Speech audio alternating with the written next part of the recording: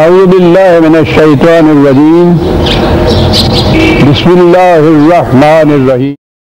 अजीज़ा ने मन आज दिसंबर उन्नीस सौ बयासी की सत्रह तारीख है और दरस कुरान करीम का आगाज़ सूरह अल कमर की आयत तैतीस से हो रहा है five four over double three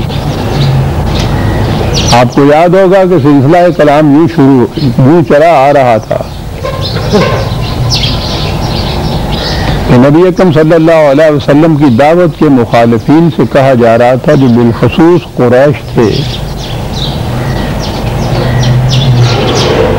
कि जिस किस्म के निज़ाम पर तुम ज़िंदगी बसर कर रहे हो, इसका नतीजा तबाही हो। और इस दावे के, की सदाकत के सबूत में कुरान करीम ने अपने मामूल के मुताबिक तारीखी शवाहद फिर पेश किए हैं। उन्हें बताया है कि इन अकवाम की सरगुजश्तों से तुम वाकिफ हो, इनके माल और अंजाम तुम्हारी आँखों के सामने हैं, उनकी उजड़ी हुई बस्तियाँ, उनकी हकायात जिन्हें दिन रात तुम दोहराते रहते हो।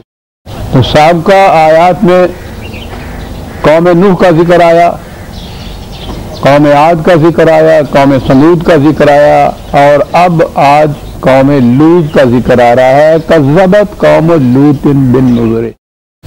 मैंने ये अर्ज़ किया था कि ये दास्तानें तो हैं, उन अकवाम की जो हज़ार साल पहले गुजरी।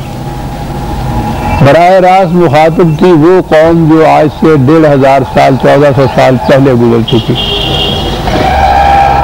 लेकिन कुरान करीम तो क्यामत तक के लिए जाता हदायत है। इसलिए ये तारीखी कहानियाँ नहीं है, जो वो बयान कर रहा है। आज इसके मुखातिब हम हैं।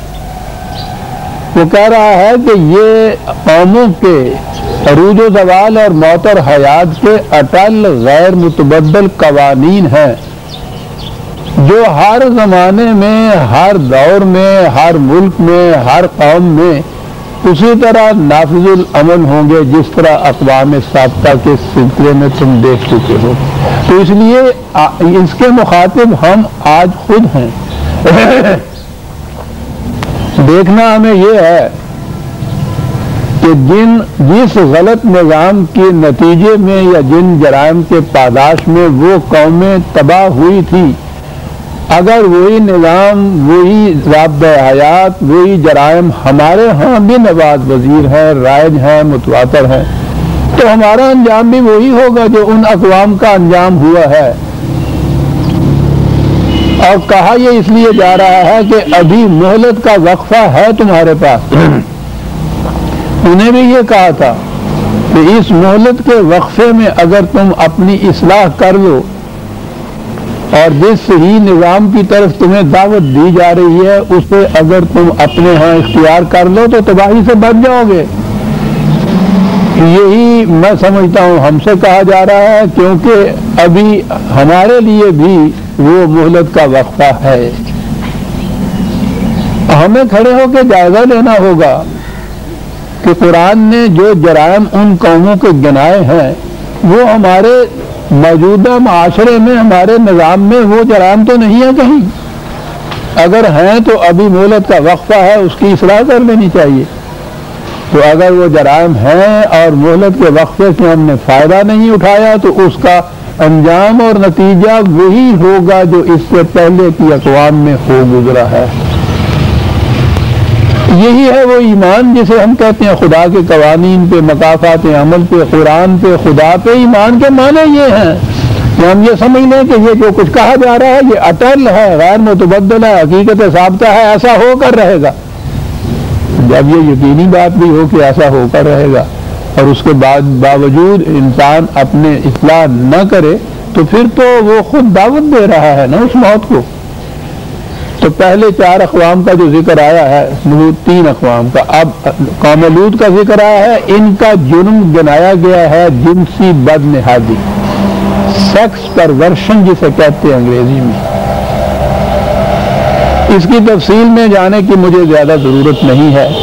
वाकयात इससे पहले बयान हो चुके हुए हैं, और मैं समझता हूँ कि समझने के लिए इतना ही काफ़ी है कि उन्हें ये परवर्शन का लफ्ज इसके अंदर जो आ जाता है, वो बड़ा ही जाम्य है। फितरत ने ये सेक्स या जिनसी ख्वाहिशात, वो तहफ़ नस्ल के लिए रखी हैं। इंसानों के अंदर भी है, हैवानात के अंदर भी है। दोनों में फ़र्क ये है कि वहाँ फितरत ने खुद एक कानून और कायदा मुकर किया है। यहाँ इंसान से कहा है कि उसी के मुताबिक तुम भी इस खास की तब्दील करो इस मकसद के लिए। और अगर वो इससे गलत तरीके अख्तियार किए जाते हैं इस ख्वाहिश की तस्कीन के लिए तो वो उसे परवर्शन कहता है। कुरान इसी को ये कहता है कि कत सबील है।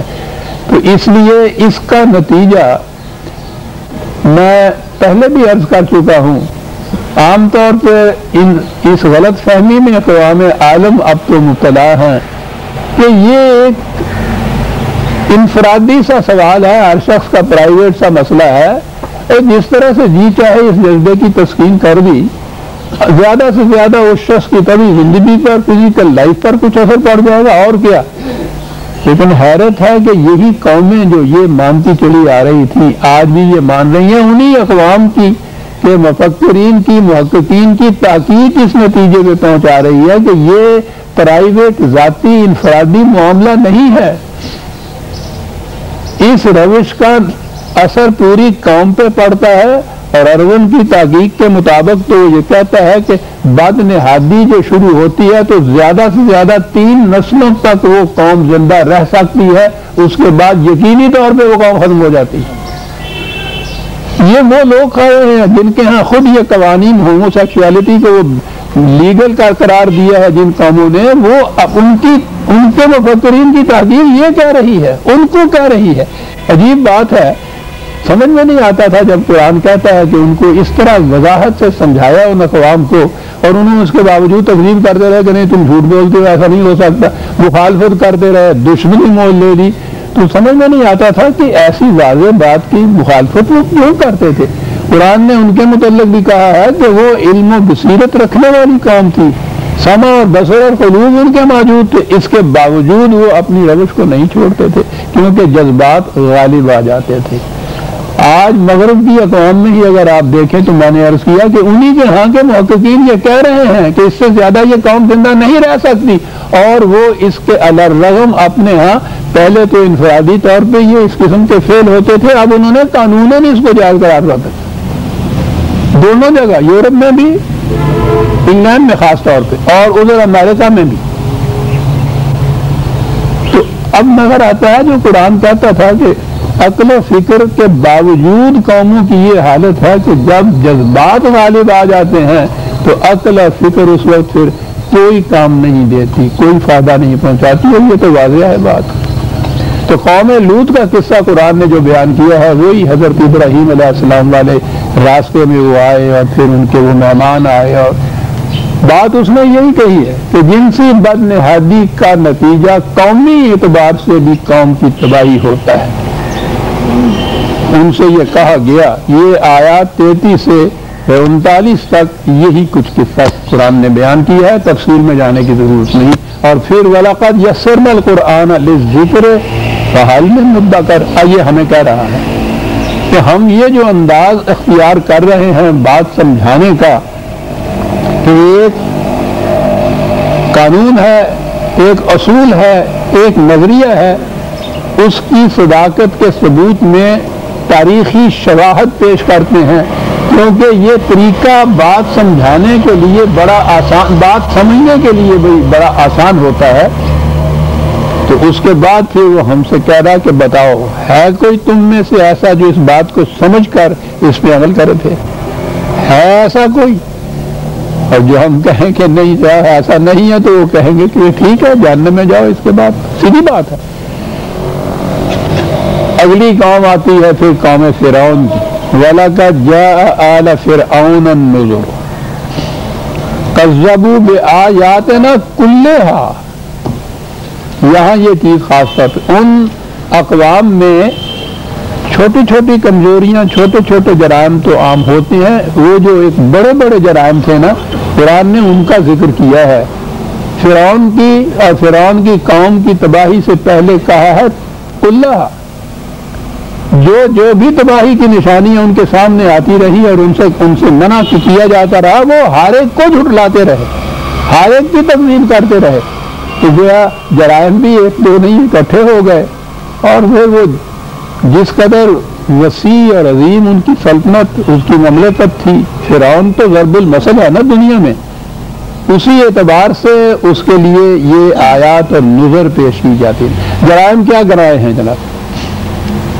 इनके जराम जो है, इस कौम के जराम जो है, ख़ास तौर पे हमारे लिए वो ऐसे हैं कि हम गौर करें कि अगर यही निज़ाम हमारे यहाँ भी राय चला तो फिर इसका नतीजा तो वही होगा जो कुरान ने कहा है। पहली चीज़ तो यही है कि हुकूमत इंसान की, शख्सी हुकूमत फर्द की, बादशाहत, मलूकियत, पहला जुर्म यह है कुरान की रूह से किसी इंसान को दूसरे इंसान पर हक हुकूमत हासिल नहीं है। कहा जो जाता है कि हुकूमत सिर्फ़ खुदा के लिए है तो हमारे लिए तो हमारे यहाँ तो ये एक लफ्ज बोल देते हैं, और फिर वो हुकूमत अपनी होती है। खुदा ने ये कहा है कि ठीक है, हुकूमत खुदा की है, और वो हुकूमत खुदा के खुदा की किताब की हुक्म है। अमली बात उसने बता दी पहला जुर्म तो वहाँ ये है। शख्सी है, मलूकियत है, इंसानों के, एक इंसान की, दूसरे इंसानों के, या इंसानों के ग्रोह की, जिसे मगरबी जमहूरियत कहते हैं, दूसरे इंसानों पर। पहला जुर्म तो उसके हाँ का ये था। इस अपनी मलूकियत को जो महज कुत के ज़ोर पर कायम की गई थी इसके मुकाबले में जो दूसरी ममलकत या हुकूमत होती है कुरान कहता है, वो इंसानों की मशावरत से तय पाती है। कवानीन या असूल तो गैर मुतबदल जो खुदा की किताब में दिए गए हैं। उन असूलों पर अमल पेरा किस तरह हुआ जाएगा, उनको नाफिज किस तरह किया जाएगा, ये उस कौम या उम्मत के बाहमी मशवरे से। ये है जिसे वो सही और जायज़ हुकूमत करार देता है। जिसका नतीजा तबाही नहीं बल्कि खुशहालियाँ होती हैं। वहाँ ये सूरत थी कि ये शख्सी मलूकियत थी फिर की। और उसे कायम रखने के लिए करता क्या था वो? ज़्यादा आहला शेयन वो कौम को मुख्तलिफ़ पार्टियों में तकसीम करता रहता था। पार्टियाँ बनाता था। ये जो फिरके बनते हैं आपके यहाँ मज़हब के, सियासी पार्टियाँ बनती हैं किसी आग के ऊपर भी हो कौम, एक उम्मत वाहिदा है तो फिर वो गलत निज़ाम को कायम नहीं रहने देती। उसका तरीका ये है, गलत निज़ाम जो तो कायम रखने वाले जो हैं, अपने निज़ाम के इस्तेकाम के लिए करते ये हैं कि वो पार्टियों में तकसीम कर देती हैं उम्मत को। और एक दूसरे से लड़ाते रहते हैं, बल्कि वहियात भी पता है बस। कभी किसी को बाहर के ऊपर ले जाते हैं, कभी किसी को नीचे ले जाते हैं। ये खेल खेलते रहते हैं वो। इस बिना पे इनकी हुकूमत जो है, ममलिकत जो है, वो मज़बूत रहती है और उम्मत या कौम जो है, उसकी ताकत मुंतशर हो जाती है। पहली चीज़ ये है शख्सी और इंसानी हुकूमत।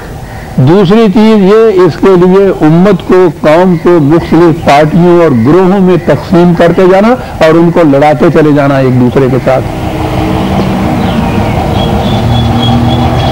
सुनते जा रहे हैं ना आप, और वो बात जहन में है ना तो इसके मुखातिब हम भी हैं। वो बोल दू पंजाबी का जो मुहावरा है, हमारी बेटियाँ बयाने जानती हैं तो सस गल कर दी सी लड़की को मुखातिब करके बात कर रही थी। ये तू गल सुन नो कन कर। बात तो मैं बेटी से कर रहा हूँ तो बहू से कह रही है कि काम तुम डरो ये असल में तुम्हारे लिए है।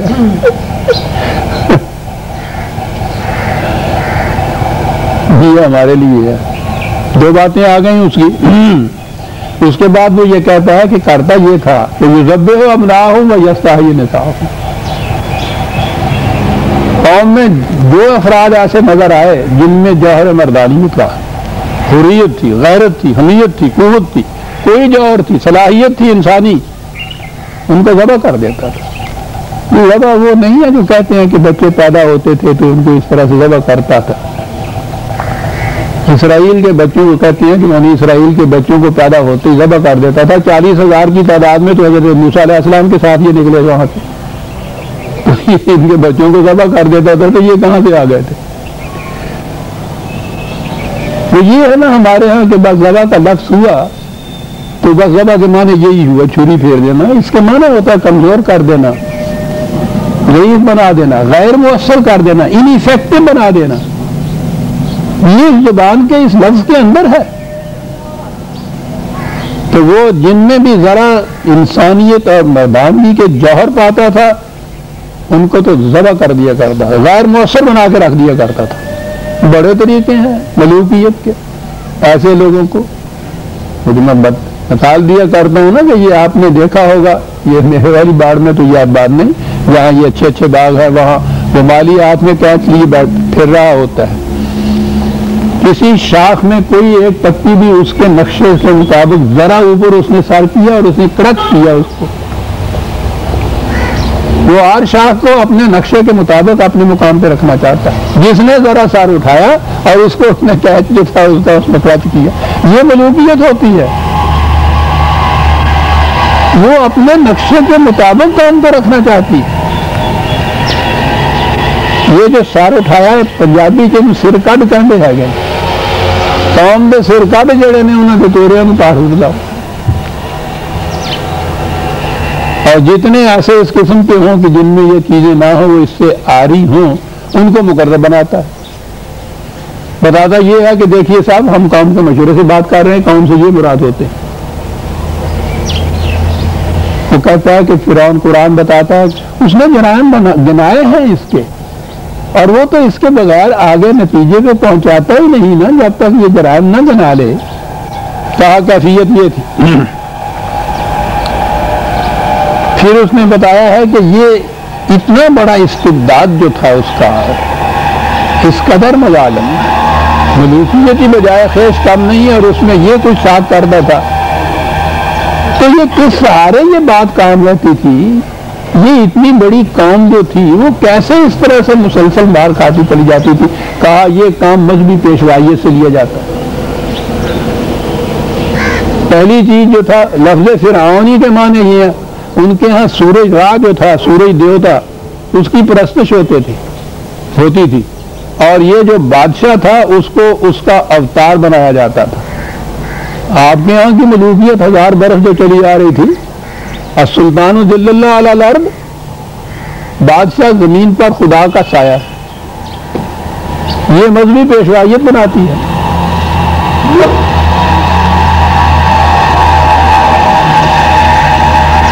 तो वहाँ उसने फिरौन के साथ हामान का जो ज़िक्र किया है, वो ये है, चीफ है हेड है इस मजहबी पेशवाइत का।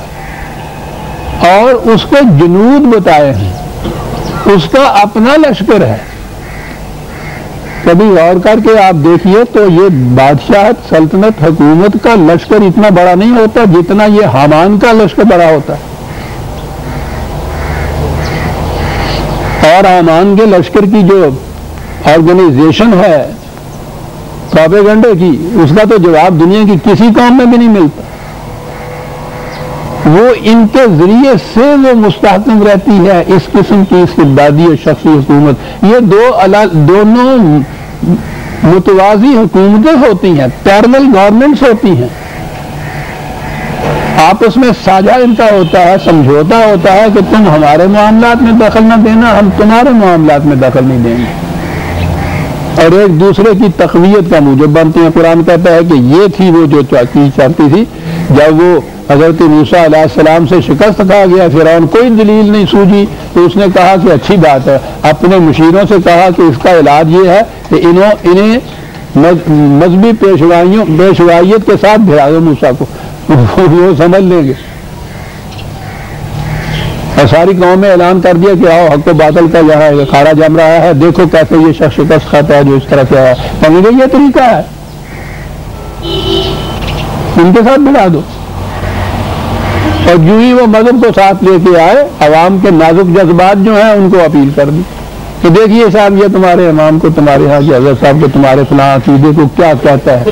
फिर वो कुछ सोचते हैं या समझते हैं। वो तो एक लश्कर होता है बेपना कुरान ने कहा है कि तीसरी चीज़ उसके अंदर अपनी थी। अगला जुर्म जो गना रहा है। कहता, तीसरी चीज़ उसकी यहाँ कानूनीत थी। निज़ाम सरमायादारी का था। मेहनत कोई करता था, उसको निचोड़ के ले जाते थे, पलता उसके ऊपर कोई था। मुतरफीन जिसे कहते हैं। दूसरों की मेहनत पर ऐश की ज़िंदगी बसर करने वाला। कानून उसका नुमाइंदा वो भी दुनिया के अंदर दरबुल मसल है। ये तीनों ही अजीब बात है, यानी ये इतनी बुलंदी की चोटी के मुजरम है कि फिरौन भी, हमान भी, कानून भी, ये बतौर गरबुल मिसल के चले आ रहे हैं, अपने अपने अपने अपने गलत निज़ाम के नुमाइंदा की हैसियत वो शख्सी हुकूमत का नुमाइंदा, हामान पेशवाइत मजहबी पेशवाइत का नुमाइंदा, कानून निज़ाम सरमायादारी का नुमाइंदा। ये निज़ाम सरमायादारी की थी काहे के लिए थी? इससे क्या होता था? वो ये कि वो बादशाह कहता था, हुकूमत वाला कहता था, आना रब्बों को मौलाना तुम्हारी रोटी मेरे हाथ में रिस्क पर मेरा कंट्रोल है। तो सीधी सी बात है कि जब रोटी पर जिसका कंट्रोल होगा, उसके तो सारे ही माकूम और मोहताज होंगे। आना रब्बों को मोला ये टेक्निक होती है। कहा यह था जो बड़ा जुर्म था। इस्तेदाद की कैफियत यह थी कि हक की बात कहने की किसी को इजाज़त नहीं थी। कुरान ने बताया कि जब वो वो जो पेश, मजहबी पेशवाइत वाले बुलाए थे, उनमें कुछ ऐसे थे, वो साहरीन दरबार कुरान जिसे हम कहते हैं, कि उन्होंने जब सदाकत को अपनी आँखों से देख लिया तो उन्होंने ऐलान कर दिया इतराफ कर दिया कि हम ईमान लाए ये बात सच्ची कहता है। बिफरे हुए शेर की तरह वो गरजा है फिर हम। तो है, मुझसे पूछे बगैर ही ये तुम उसकी सदाकत का ऐलान कर रहे हो। अभी देखो मैं क्या करता हूँ। अपने जमीर की आवाज़ या अपनी सच्ची बात जिसे आप समझते हैं, उसमें उसे ज़ुबान पर ले आना, उसकी इजाज़त के बगैर यानी सच कहने के लिए उसकी इजाज़त की ज़रूरत होती है।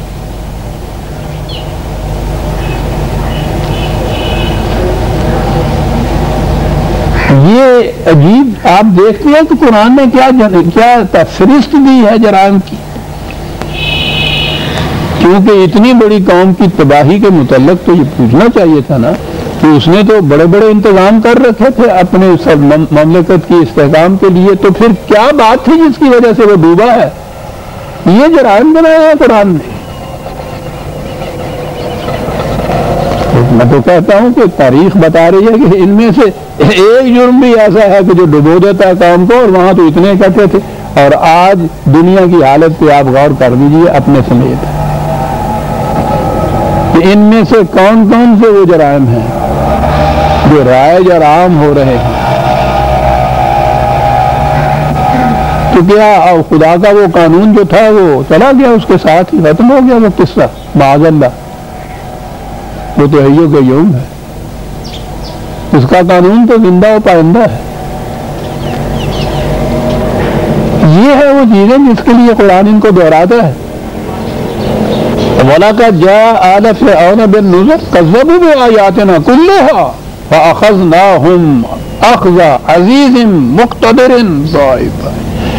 इतने बड़े पे हाथ डालने के लिए बड़े आहनी पंजे की ज़रूरत थी। कहा हाथ डाला ये अज़ीज़ का लफ्ज ही कुछ कम कुत वाला नहीं मुख्तरन भी, भी है ऐसा। बड़ी सख्त फौलादी गिरफ्त वाला खुदा का कानून उसने पकड़ा। इतनी सख्त कानून की ज़रूरत थी।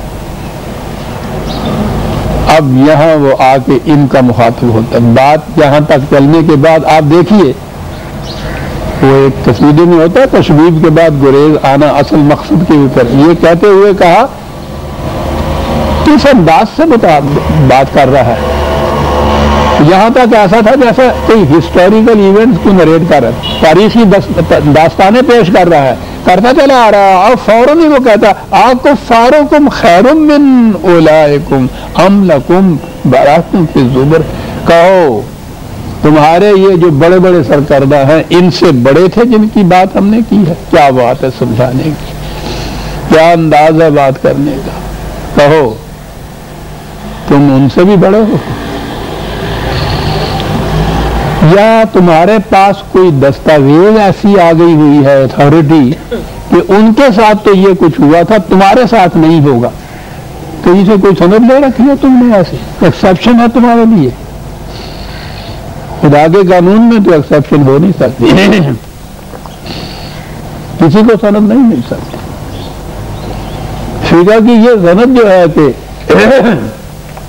बादशाह या सुल्तान जो है वो जो जुर्म भी करे, कत्ल के स्वभाव से मुआवजा नहीं किया जा सकता। ये खुदा के कानून का तो फैसला नहीं है। ये जो उसने कहा था ना कि तुम्हारे पास कोई है सनद, हमारे यहाँ की मलूकियत ने तो वो सनद भी पजा रखी थी। और उन्होंने ये भी कह रखा था, एक ने तो ये कहा था जहाँ मुआवजा नहीं होगा, वो दूसरे थे उन्होंने आगे कहा था कि आमद में भी मुआवजा नहीं होगा बादशाह से। ये है ना? तो क्या तुम्हारे पास कोई ऐसी सनद है? शायद उन्होंने भी ले रखी हमारे यहाँ तो इन मलूकियत वालों के दौरे मलूकियत में ये सनदें उन्होंने ले रखी हुई थी। क्या हमें कुछ नहीं होगा? फिर पूछिए ना बगदाद की गलियों से और हलाकों से। तो फिर क्या हुआ था? ये सनदें किस काम आई थी? और फिर ये तो हज़ार साल से हमारे साथ जो होता चला रहा है। आज आप और फरमाइए कि दुनिया की अजीम शान कौम एक अरब के बराबर के करीब आबादी, बहर जखार एक मराकज से इंडोनेशिया तक। तलातम ये समंदर की देखिए और वो इतनी सी चिड़िया सी एक हुकूमत जो है, इन दूसरों के हाथों से वजह की गई। उनके हाथों जिल्लत में सलूक हो रहा है। एक अरब मुसलमान जो है अब तुम्हें आँखें ना खोलो तो और बात है। वरना जिल्लत परती पस्ती की इससे ज़्यादा और शहादत क्या हो सकती? पूरी उम्मत एक अरब के करीब।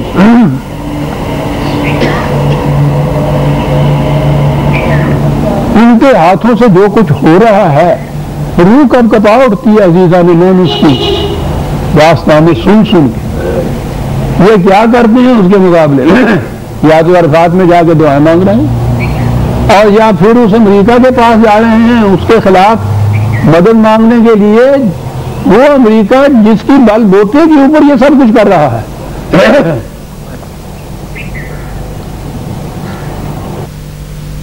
अमीन मकाफत ये नहीं है।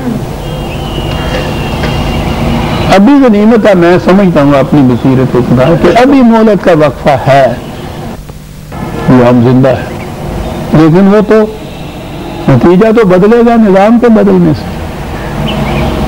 आपको फारुकुम खैर मिन उलाइकुम अमलकुम बरातुम से जुबर। कहा जवाब इनका सुन लीजिए। हम ये कूलून नहनो जमीम मुंतसर ये कहते हैं, ओ बड़ा जत्था हमारा है, बड़ा लश्कर जर्रार है हमारे पास। हम मुकाबले में आएँगे, हमारे और मददगार बहुत कबीले हैं जो साथ आएँगे हमारे। जवाब ये है। वो कह रहा है कि गलत निज़ाम का नतीजा तबाही होता है। वो कह रहा है, हमारे पास बड़ी कुत है, हमारे पास बड़ी फौजें हैं। आपको याद होगा जीजा ने मान मैंने शुरू में कहा था, जब कुरान ने कहा था कि सात आ पहुँची है, और वो शक्त कमर जहाँ मैंने अर्ज़ किया था और साथ मैंने कहा था कि हमारे यहाँ तो वो क्यामत तर्जमा कर दिया और शक कमर हो गया वो मोजा कहा तो कुरान ने ये था कि वो इनकलाब की घड़ी आ पहुँची है। जब ये गलत निज़ाम के नतज जो पहले जेर ज़मीन चले जा रहे होते हैं, फिर वो उभर के सामने आ जाते हैं, उसको साथ कहते हैं।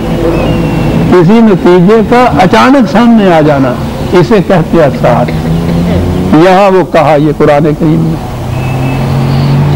तो ये कहते हैं, हमारे बड़े जत्थे हैं, बड़े लाम लश्कर है हमारे यहाँ।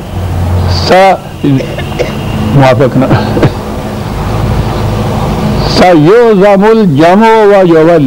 जमो मैंने कहा था ना कि एक रवायत में ये आया तो बदर के मैदान में नबी अकम सल्लल्लाहु अलैहि वसल्लम जब लश्कर रास्ता हो रहा था तो हजूर अपने खाने में ये आयत तलावत फरमा रहे थे। ये खुदा तेरा वादा ये है कि कितना ही जत्था बना के क्यों ना आएगा। ये शिकस्त खा के भागेंगे।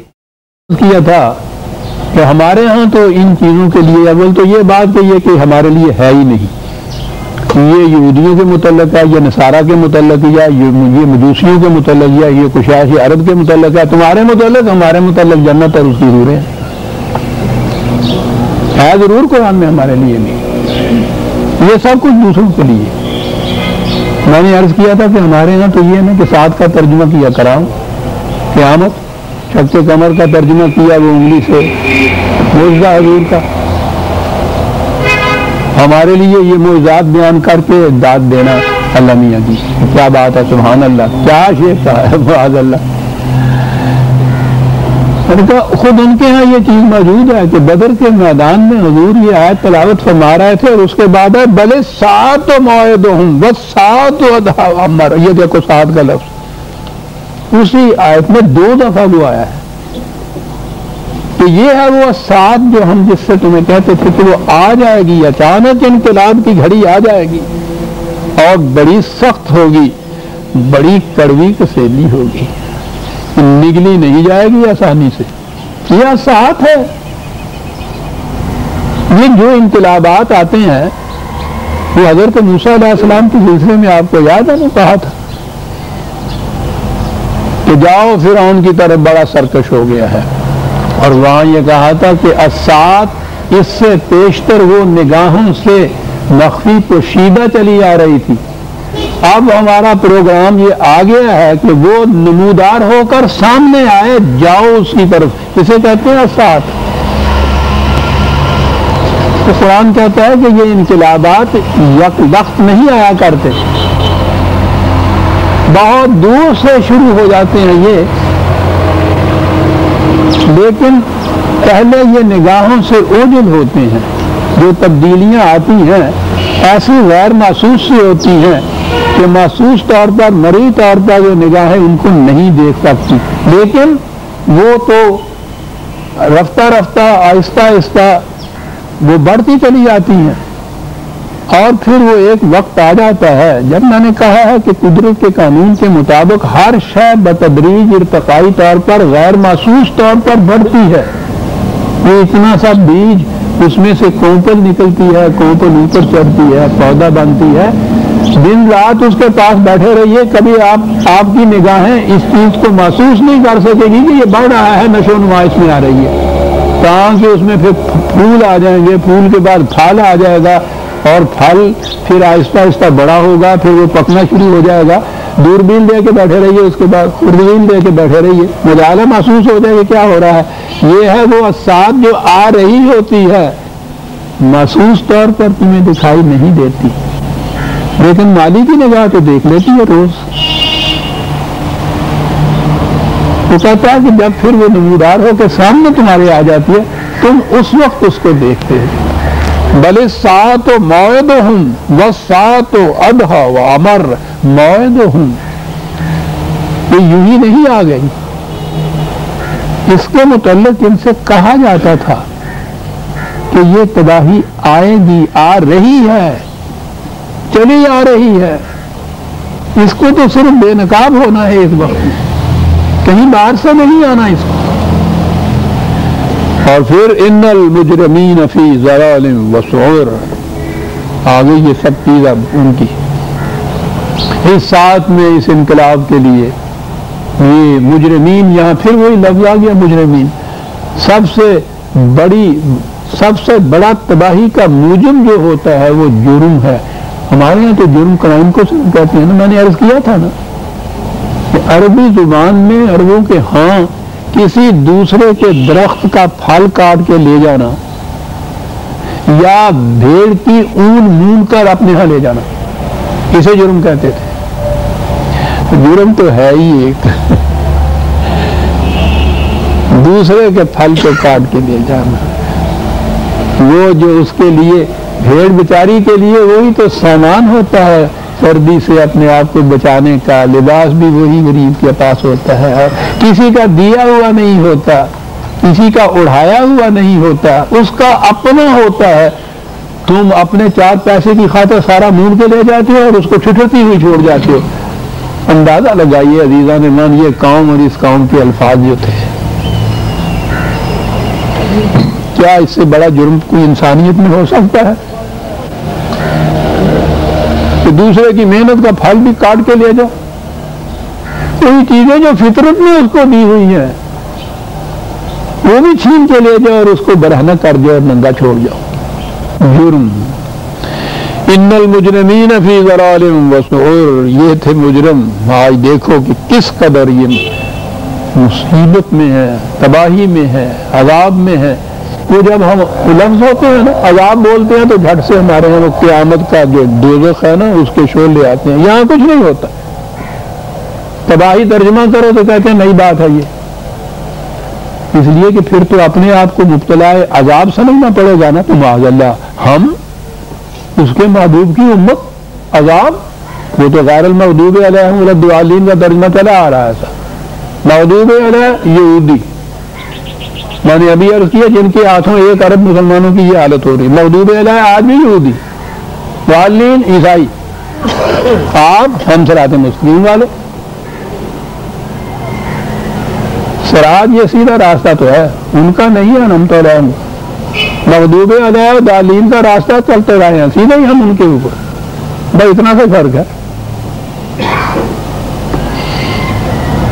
यौमा युस हबूना फिर नारे अला वजूह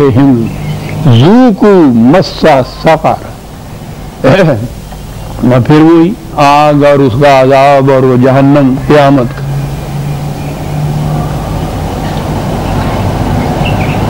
इस अजाब का अजीज़ा ने मैं पिछले दिनों जो चीज़ें अखबार में आई हैं, फलस्तीनियों के साथ लिबनान में आखिरी मरहले पर जो कुछ हुआ है, उससे शदीद तर्श अजाब की कोई शक्ल और हो सकती कहा घसीटे जाएँगे ये उस अजाब के अंदर, आग के अंदर ये सब। कहा जाएगा कि हम तुमको कहते चले आ रहे थे इतने अरसे से। तुम उसे झूठा समझ रहे थे। बार बार तुम्हें वार्न किया जा रहा था। और बसीरत से, शवाहद से, सबूत से लेकिन हमारे काम पे जू नहीं रेंगती थी। आप देख लीजिए रू को मुस्तफ़ा। अब सवाल ये पैदा हुआ कि ये इतने अरसे से जो हम ये कुछ कर रहे थे, तेरह साल नबी अकम वसल्लम मक्के में भी उनको वार्निंग दे रहे थे। आखिर में जाके मदीने की पहली, दूसरी तारीख साल में जाके ये नमूदार हुई है ना साथ तो ये पहले ही दिन क्यों ना हो गया? शुरू में क्यों ना हो गया? क्या बात? इन्ना कुल्ला शैन खलक ना हो बेकदर ये इसलिए ऐसा नहीं हुआ कि हमने हर चीज़ के लिए एक पैमाना पैमाना बना रखा है, एक कानून बना रखा है। बीज के फल तक जाने के लिए इसको कदर कहते हैं? इसी को तकदीर कहते हैं? बीज की ये तकदीर है जिसमें से वो गुजर कर फल तक पहुँचता है। वो एक पैमाना है जिसके मुताबिक मापा जाता है कि इसकी नशो नुमा हो रही है और कहाँ तक हुई है। वो कहा, ये बात कि ये पहले दिन क्यों नहीं हो गया? अगर कोई पूछे कि आज जो छह महीने के बाद या आठ महीने के बाद जाके इतना सा आम लगा है, ये जब हमने गुठली बोई थी तो उसी दिन क्यों नहीं हो गया ये? कहा इसलिए कि इसके लिए हमने एक कदर मुकर की हुई थी। एक पैमाना था। कौमों के जराइम या उनके अमाल और उसके मासूस नतीजे के दरमियान जो वक्फा होता है, वो है जो पैमाना होता है। एक कानून होता है मकाफात अमल का और उसमें कानून होता है मोहलत का। और ये भी उसकी बड़ी रहमत है। कि वो पहली ही लफ्ज के ऊपर नहीं दबा देता। मोहलत का वक्फा दे देता। वो तो कहता हम तो अपने बंदों के ऊपर बड़े रहीम वाक्य हुए हैं। हमने तो उनसे इंतकाम लेना है कि जरा सा हमारे खिलाफ इन्होंने यूँ किया और हमने पकड़ा। तो सवाल तो इन्हीं का है। तो इसलिए इनको ये वार्निंग दी जाती है और मोहलत दी जाती है और दो चीज़ें कौमों की तबाही और इस वार्निंग के सिलसिले में याद रखिए, कुरान में मुकदम मकाम पे और दो तीन जगह तो नुमाया अल्फाज में ये कहा है कि दो शर्तें होती हैं। पहली चीज़ ये कि उन तक ये बात पहुँचाने वाला कोई हो या बात पहुँच गई हो कि उनका निज़ाम गलत है, तबाह कन है, वो एक दिन इसके हाथों तबाह हो जाएँगे, ये बात पहुंचाई जाए। और दूसरी शर्त यह है कि उनमें इस बात के समझने की सलाहियत हो। क्या बात है? और फिर मोहलत का वक्फा हो। इन्ना कुल्ल शैन खलकना हो बेकदरिन, वरना व माँ अमरना इल्ला वाहिदतुन कलम हिल बसर। तो जो फैसला होता है हमारे कानून का, वो तो आप झपकने में सामने आ जाता है। वो कदर का जो मरहला है ना, उसमें से भी तो गुजरना होता है। ये बात के इस जुर्म का नतीजा तबाही है। वो तो फैसला आँख के पलक झपने की भी देर नहीं लगती। शरीर हिसाब है वो, बड़ी जल्दी हिसाब करता है। लेकिन उस हिसाब के ही माने ये हैं, ये बताता है कि इसके लिए इतना वक्फा होगा। इन मराहल में से ये बात गुजरकर आखिर में इस अंजाम तक पहुंचेगी। वरना कानून का फैसला हमारा तो आँख झपकने के, के में भी ज़्यादा वक्त लगता है उससे भी कम है वाहिदत। वलाकद अहलक न अशिया इनसे कहो कि ये थी तुम्हारे जैसी और कौमें जो अपने जराम के नतज में हमारे कानून के मुताबिक यूँ हलाक हुई। देखा तुमने? और उसके बाद फहाल मिम मुद्दा करीन क्या कोई है तुम्हारे यहाँ ऐसा? तो जो इससे नसीहत पड़े वो कार्ड वकुल्लो शैन फालू हो, फिर जुब। ये समझते हैं कि हमने कुछ कर लिया। हुकूमत हमारी, ममलकत हमारी कुत हमारी, कारिंदे हमारे सीआईडी हमारी। कौन देख रहा है? कहा, इन्हें पता नहीं है कि जो कुछ भी ये करते हैं वो हमारे सीआईडी के रजिस्टर में दर्ज होता है। जो कुछ करें, वो कुल्लो सगीर व कबीर मुस्तल छोटी बात भी, बड़ी बात भी, कोई भी उसकी निगाहों से ओझल नहीं रहती। ऐसा नहीं होता कि कोई चीज़ भी छूट गई है उसमें से। वो तो कहता है ना कि हम तो निगाहों की खयानत और दिल में गुजरने वाले ख्यालात तक से भी वाकिफ होते हैं।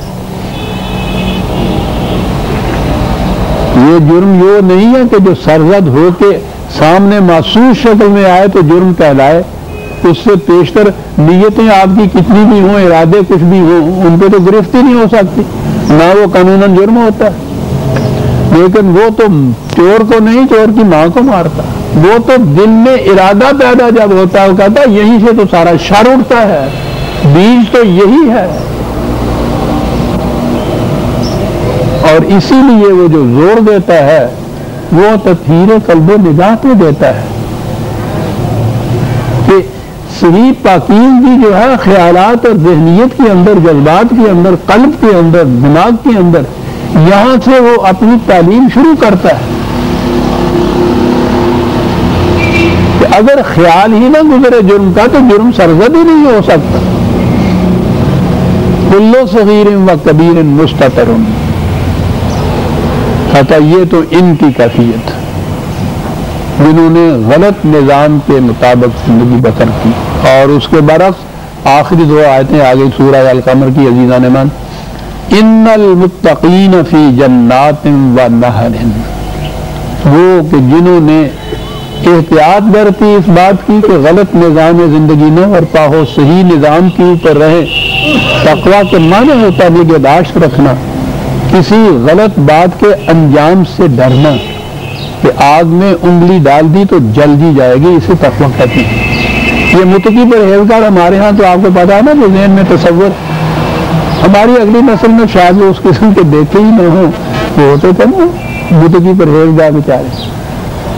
वो यही आज से बंदे, गरीब से बेचारे। माफ़ रखिए मैं किसी की ताकीर नहीं करता, वो गाँव में आमतौर पर जुलाहे होते थे। और उनको बड़ी ताकीर की नज़र से देखा जाता था। मुतकी परहेजगार होंगे सी वही बांग देंगे सन वही नमाज़ पढ़ाते सन बेचारे।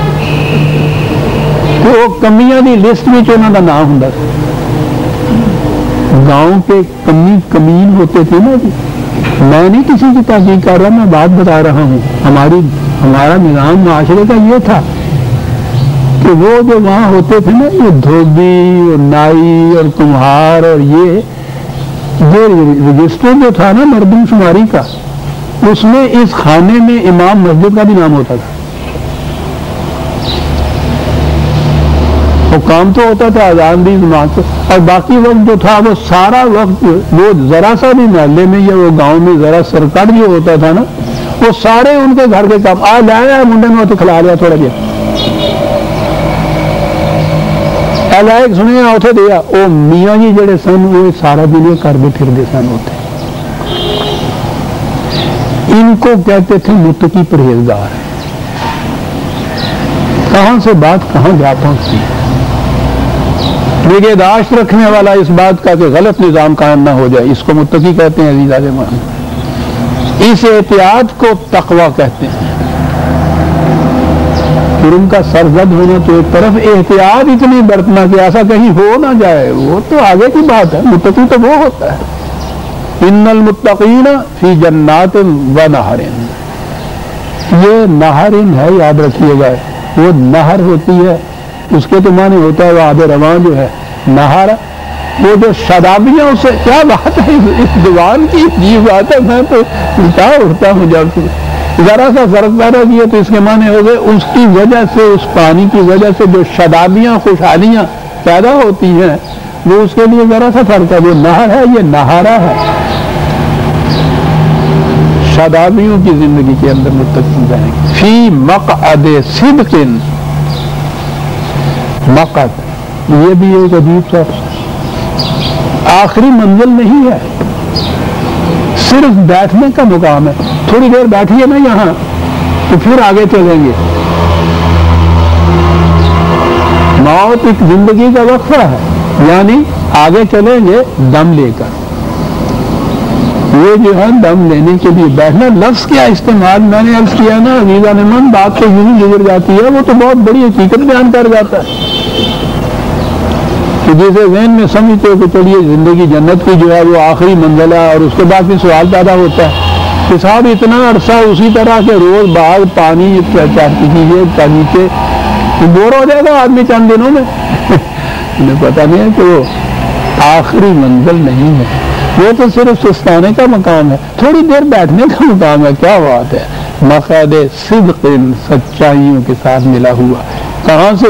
इंदा मलिकिन मुख्तरन अब फ़र्क बता दिए। एक मलिक मुख्तदर साहब हुकूमत, साहब इकतदार फिरौन था। जबा करने वाला। एक ये खुदा है, मलिक को मुख्तर खास तौर पे वो लाया यहाँ ये अल्फाज कि एक इसकी हुकूमत है, जिसकी हुकूमत के अंदर जन्नातन व नहरन मखदन, सिदकिन, ये कैफियत है जिस होगी। दोनों में फ़र्क? कुत बजाय खेश मायूब चीज़ नहीं है। ये ज़रिया है किसी दूसरी चीज़ के हासिल करने या पहुँचाने का।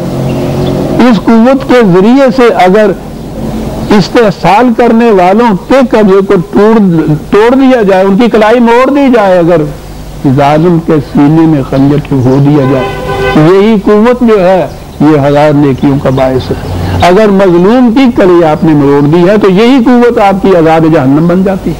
कुत तो वही चीज़ होती है। मलिक को मुख्तर फिर भी था, जिसका पहले ज़िक्र किया।